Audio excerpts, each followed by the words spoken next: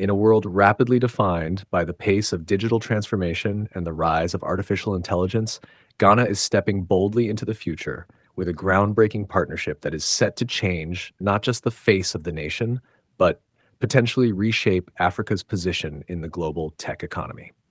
On May 29th, 2025, in the bustling city of Accra, a landmark moment unfolded that signals a new era for innovation, development, and economic ambition. Ghana and the United Arab Emirates have signed a monumental $1 billion deal to establish the Ghana UAE Innovations and Technology Hub, Africa's largest and most ambitious innovation hub to date. Before we dive deeper into today's update, take a moment to like, share, and subscribe to the channel. Your support is key to helping us grow and reach more viewers like you. Don't forget to hit the notification bell so you never miss out on exciting updates. The significance of this agreement cannot be overstated. This isn't just another infrastructure project or a generic technology park.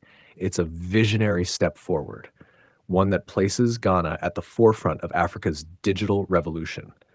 This partnership, driven by the UAE's Ports, Customs, and Free Zone Corporation, known as PCFC, envisions the transformation of 25 square kilometers of land in Ningo Prampram into a dynamic ecosystem of artificial intelligence engineering business process outsourcing, machine learning, and knowledge process outsourcing, all tailored to Africa's distinct data landscape and socioeconomic needs.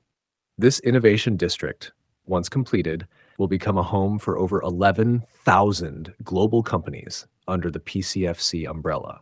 Imagine names like Microsoft, Meta, Oracle, IBM, and Alphabet, tech giants with a massive global presence, establishing regional headquarters or research and development centers in Ghana.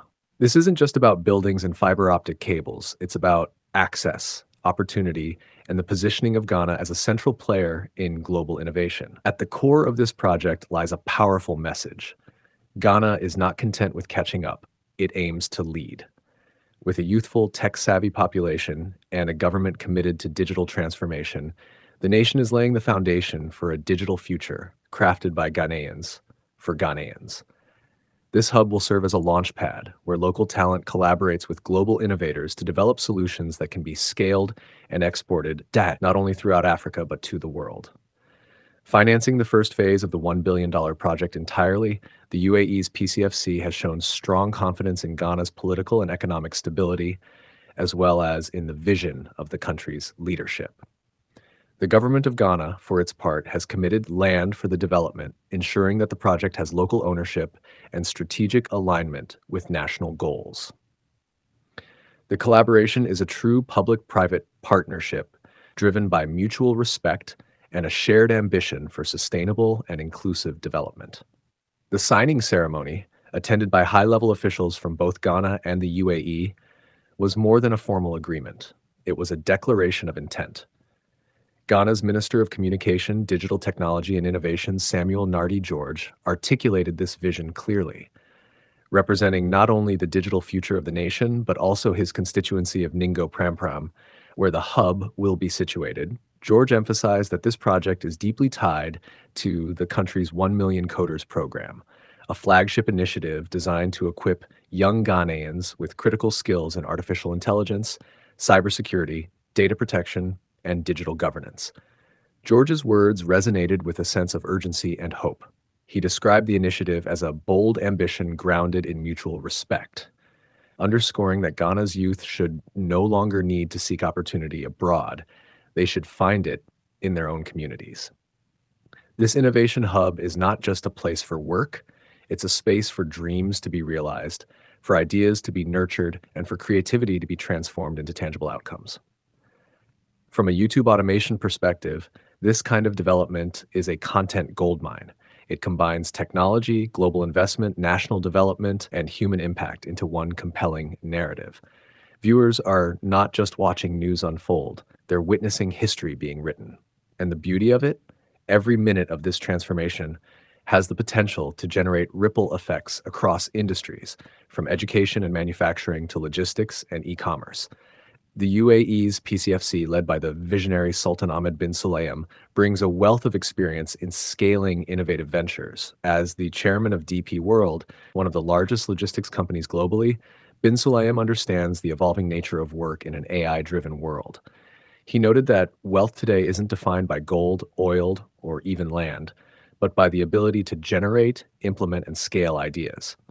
He referenced Apple, a company that turned a vision into one of the most valuable enterprises in history, emphasizing that this kind of impact is possible through innovation and engineering. For Ghana, this isn't just about being a host, it's about being an active architect in building the digital economy of the future. Jobs are not being lost to automation, they're evolving. Roles are shifting from repetitive manual labor to positions that require critical thinking, strategic planning, and human centric innovation. Ghanaian workers will transition from the margins of digital enterprise to its very core, managing smart systems, creating intelligent platforms, and engaging in high level decision making. The strategic location of the Innovation Hub in Ningo Prampram also adds to its transformative potential.